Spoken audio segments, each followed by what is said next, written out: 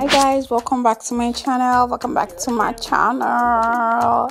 It's your girl precious Chukwu precious yeah in case you didn't know and um, you're going to be spending your day with me in the kitchen today because I'm going to be making something delicious, something yummy, sure, something you know, you know. Hey, so if you haven't subscribed to my channel, this is the best time to do that. Make sure you subscribe and make sure you support me. So today we are going to be making this um banana frittata is my own version. So we need onions pepper um, tomatoes. We need um, green pepper. You need stock cubes and obviously the banana some eggs and then salt to taste.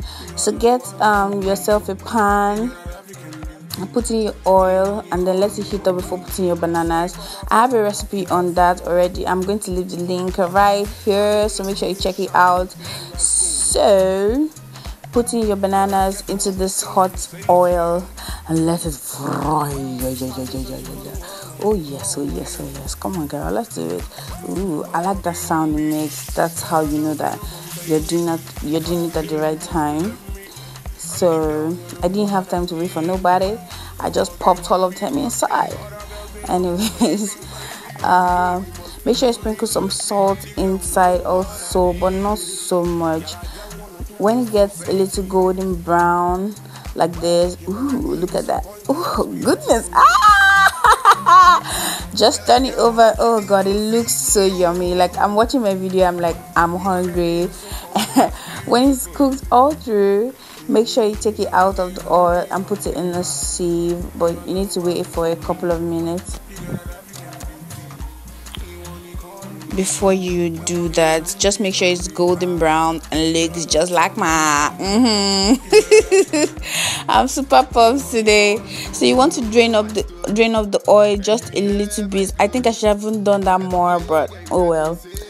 So go on and spice up your oil and give it a good stir first of all. So i went ahead to cut up all the vegetables uh the onions the um, fresh tomatoes and then the other pepper the the red pepper and the green pepper. So first of all i made some kind of not really a sauce but i fried this ones a bit. What should i say? I salted. mm. english is so difficult. Anyways so i let them cook up for like a minute or so just for that you know flavor and then to get all the yumminess out of it and I went ahead to pour my eggs into the mixture. Meanwhile, I didn't put all the vegetables I cut just because I didn't want everything to be all I don't know cooked up or something. So I'll still add them later so go ahead put them and then put your fried banana. You know the thing is this recipe was actually done with plantain but it's no news. I don't have plantain in this country. So but it actually works amazing with bananas. So then i went ahead to put the remaining uh, vegetables that i put just cover the pot and will actually cook through. Um, it won't be so soft and that's why i like it because i like it a little crunchy a little fresh and all that so that's that give it about five or ten minutes and your meal should be ready. Ooh, it was really really yummy you guys.